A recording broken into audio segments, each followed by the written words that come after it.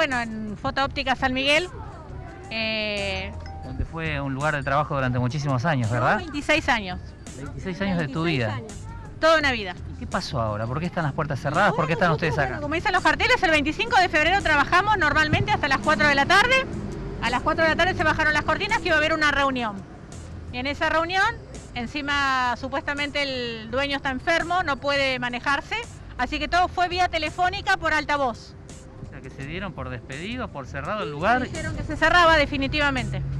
Ahora contame vos, ¿cuántos años hace que estás acá y cómo tomaste esta noticia? Mire, yo estoy a- hace poco, hace cinco años. eh, la noticia la tomamos mal, como todos los empleados. Eh, no esperamos que de un día para otro nos despida así, sin justa causa. Y bueno, lo único que queremos es que se solucione y tener alguna noticia de él. ¿Nunca se habló de indemnización, por ejemplo? Bueno, ahí tenemos justamente. Esta es la carta, este es el telegrama que acá dice que la liquidación final está a nuestra disposición, pero todavía nada. La abogada tampoco da la cara y de él no tuvimos más contestación, no tuvimos ninguna respuesta más.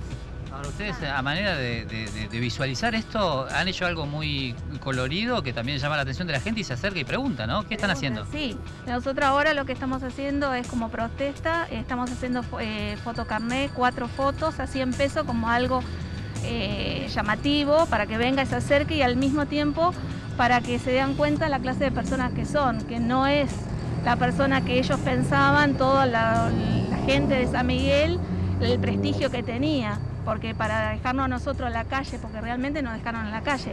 El Lo 25 único- de febrero cambió tu vida. Claro, realmente nos cambió a todos. Ahora, ¿qué, qué, qué acción van a hacer si esto no, no llega a buen puerto? ¿Tienen pensado hacer alguna medida? Ir Nosotros a... tenemos una abogada que por ahora está ella viendo toda la posibilidad porque también mandamos eh, telegramas y no nos contesta, no tenemos noticia de nada. Fuimos al, al abogado y no, lo único que nos dice el abogado que pongan otro abogado para que litigue porque el, el- me dice, esta persona no tiene intención de pagar nada. Bueno, y tampoco, o sea, con lo que había adentro, eh, ¿qué pasó? Esa, esa es la. Bueno, ayer nosotros virali- viralizamos eso porque lo único lo que hacemos adentro, ahora lo estamos haciendo en la calle, sacar fotos. Siempre trabajamos en la parte de fotografía. Nosotros esto lo viralizamos y aparentemente llegó a ellos y ayer había camiones acá sacando todo lo que lo, lo que quedaba de adentro. Que tal vez con eso le hubiera dado en forma de pago o haberlo vendido, ¿no? Eh, claro, por lo menos decirnos, chicos, tantos años trabajado, esto es lo que hay, ¿qué hacemos? Entonces, bueno, esa es, la, esa es la idea. Supuestamente se van a poner una óptica en otro lado también. ¿Eso ya está confirmado? No, no, no, confirmado no, pero tenemos una idea de que aparentemente se van a poner algo en otro lado.